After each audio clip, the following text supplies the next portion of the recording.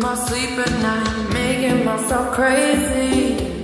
Out of my mind, out of my mind. Wrote it down and read it out, hoping it would save